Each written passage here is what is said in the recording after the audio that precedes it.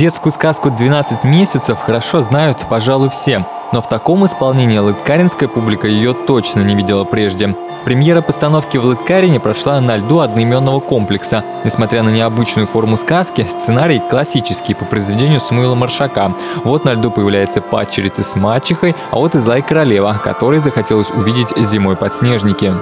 Я сегодня играю королеву, которая в декабре захотела подснежников. В конце каков итог будет? В конце мне принесут подснежники, и все закончится хорошо. Все костюмы фигуристов эксклюзивны и вышиты вручную. Вращение, прыжки и актерская игра. Постановка объединила в себе спорт и театральное искусство. Вот в центре ледовой площадки у импровизированного костра появляется 12 месяцев и Дед Мороз.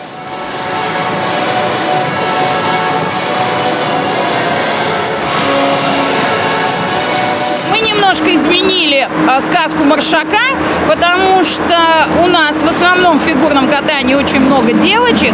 И, конечно же, нам хотелось, чтобы 12 месяцев были не юноши, а именно девушки. Э, Октябрина, Августина, вот такие сегодня были замечательные э, месяцы именно девушки. Ну и еще сезоны. Зима, весна, осень, лето.